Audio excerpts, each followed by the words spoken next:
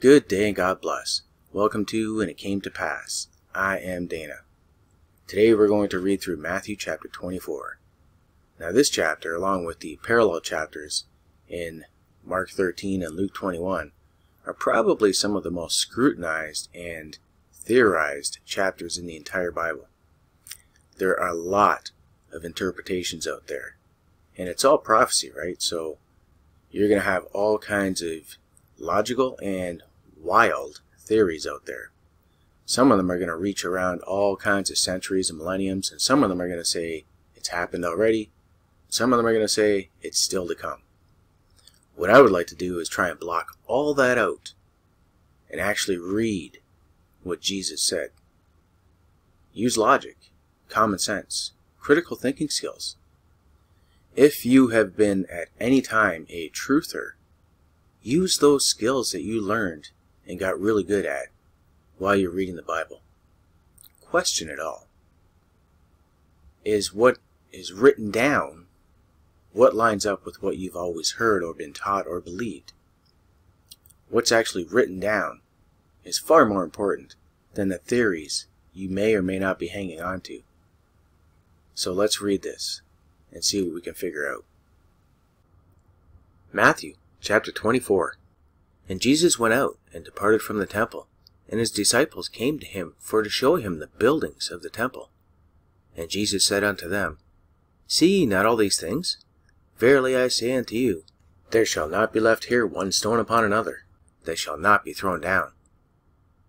And as he sat upon the Mount of Olives, the disciples came to him privately, saying, Tell us, when shall these things be? And what shall be the sign of thy coming, and of the end of the world? And Jesus answered and said unto them, Take heed that no man deceive you. For many shall come in my name, saying, I am Christ, and shall deceive many. And ye shall hear of wars and rumors of wars. See that ye be not troubled. For all these things must come to pass, but the end is not yet. For nation shall rise against nation, and kingdom against kingdom, and there shall be famines, and pestilences, and earthquakes in divers places. All these are the beginnings of sorrows. Then shall they deliver you up to be afflicted, and shall kill you, and ye shall be hated of all nations for my name's sake. And then shall many be offended, and shall betray one another, and shall hate one another.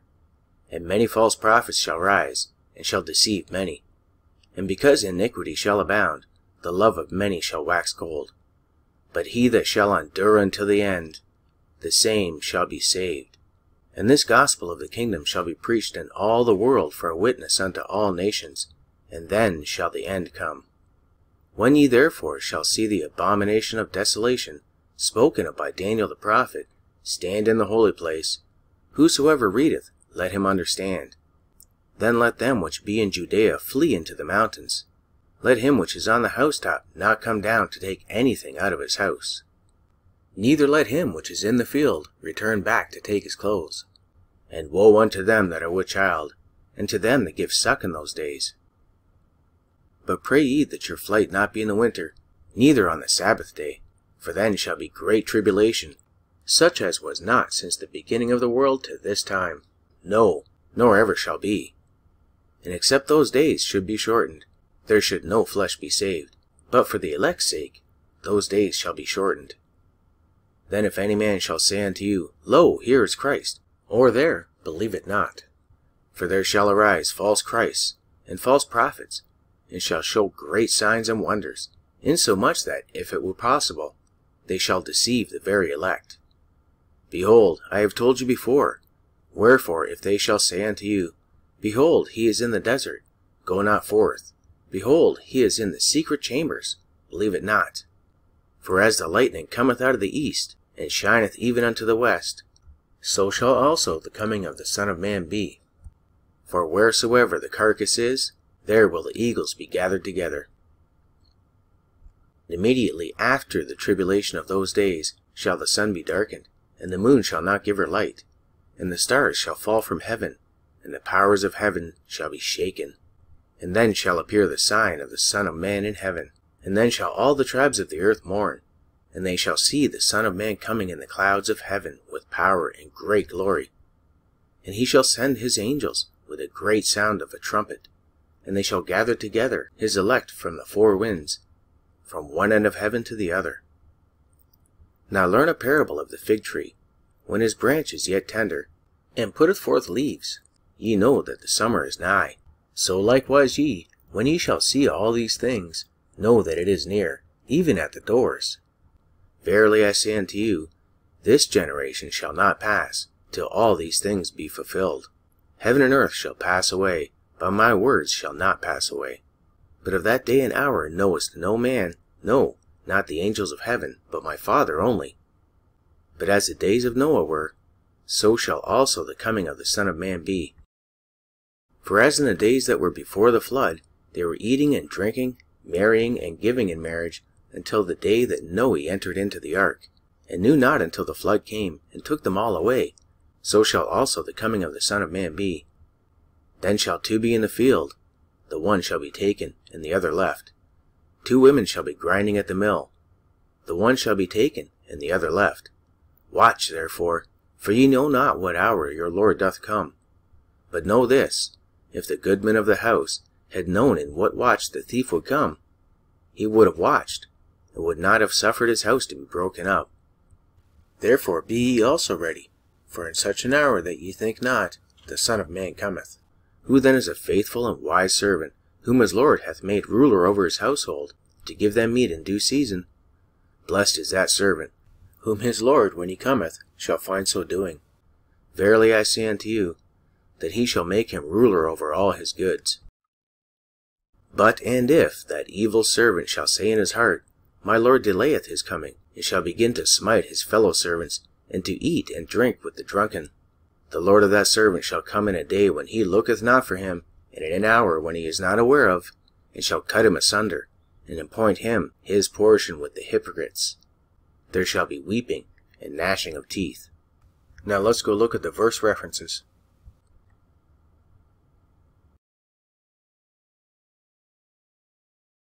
Matthew chapter 24 verse 2 has a parallel verse in Mark chapter 13 verse 2. And Jesus answering said unto him, Seest thou these great buildings? There shall not be left one stone upon another that shall not be thrown down.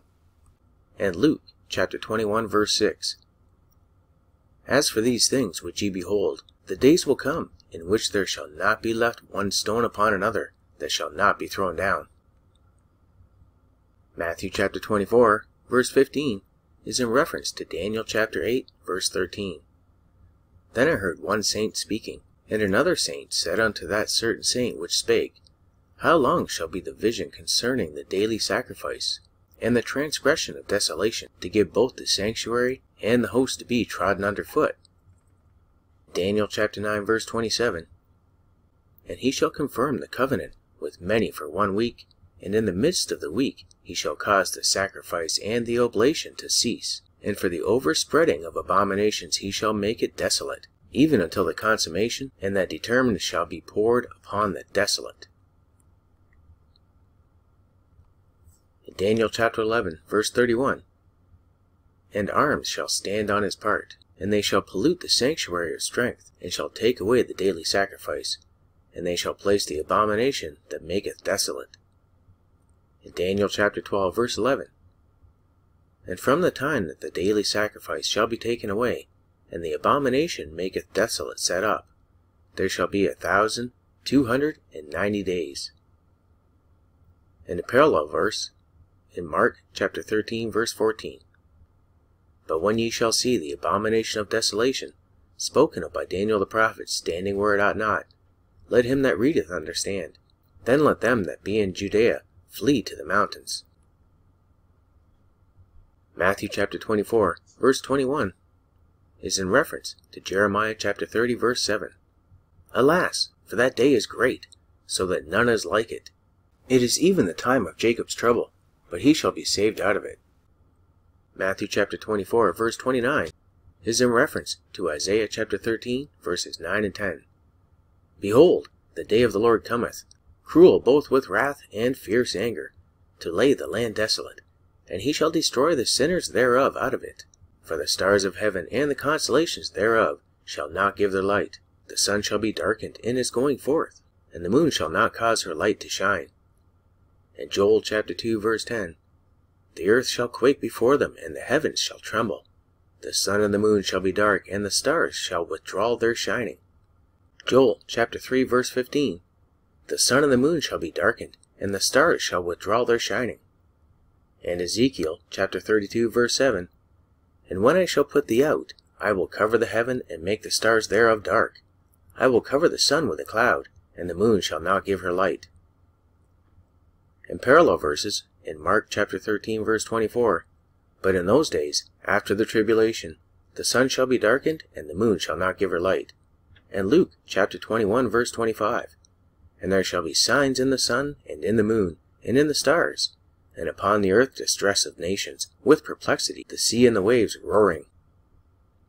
Matthew chapter 24, verse 35, is in reference to Isaiah chapter 51, verse 16. And I have put my words in thy mouth, and I have covered thee in the shadows of mine hand, that I may plant in the heavens, and lay the foundations of the earth, and say unto Zion, Thou art my people. Matthew chapter 24, verse 37 is in reference to Genesis chapter 7, verse 4. For yet seven days, and I will cause it to rain upon the earth forty days and forty nights, and every living substance that I have made will I destroy from off the face of the earth. There is an absolute ton of prophecy in that chapter alone. I suggest that you take the time to really think about it. Pay attention to words like shall, before, unto. Really dissect all of it. Really think about it. And pray about it. And until next time, have a great day and God bless.